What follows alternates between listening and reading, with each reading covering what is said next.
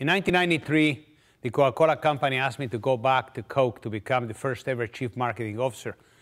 I arrived to find a budget that I was responsible for or, or directed in many ways of $5 billion on a worldwide basis. At the time, we were selling about 9 billion cases a year of soda, uh, and in a very short period of time, we took it to 15 billion cases a year. That's a lot of, a lot of soda. Um, the budgets never increased. What we did at the time is we tried to rationalize the spending and making sure that we understood exactly what we were getting for what we were spending. We were operating in 193 countries around the world with no way to have just-in-time communication with the different markets around the world in order to make sure that we had a rigid strategy with flexible tactics. You know, something that allowed us to have a brand or a series of brands that were implemented on a worldwide basis consistently, but at the same time were communicated in the local culture more so than the local language. I wish that in 1993 I had a product like Broadchoice. When I ran into this uh, new technology, I kind of felt terrible, you know, that it only 15 years after I went back to Coke, this technology was available. If I had had this tool.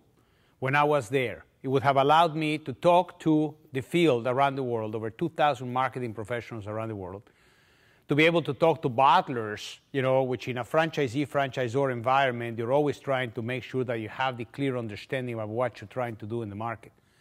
To be able to understand what retailers wanted, and lastly, to make sure that the most important people in the world for a business were able to contribute through their behaviors and their attitudes on what we were going to do next, which were the consumers.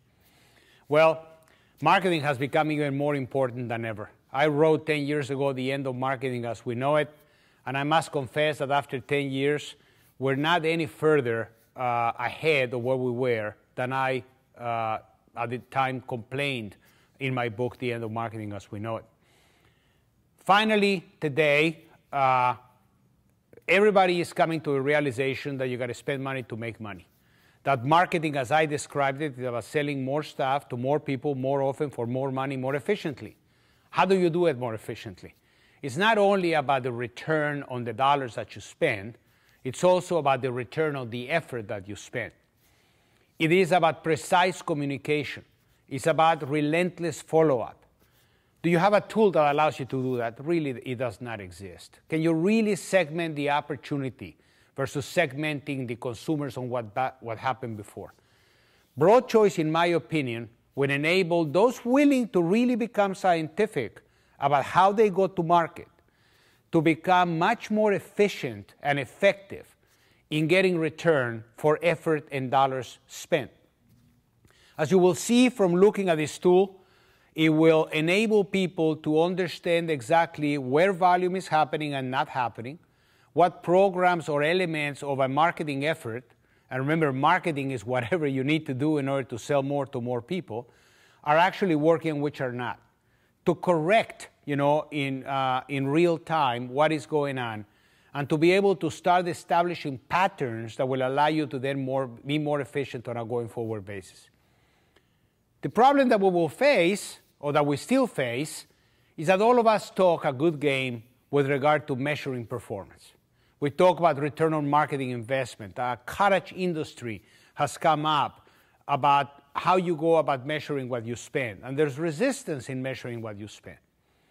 Let me say that if you actually were running a political campaign today, you need to understand where your vote is, where your intent to vote is. And you don't have to understand that for the long term. You got to understand it for tomorrow because the vote happens tomorrow, and you can't ask, even though we've had a couple of recounts, uh, for a revote uh, in the marketplace.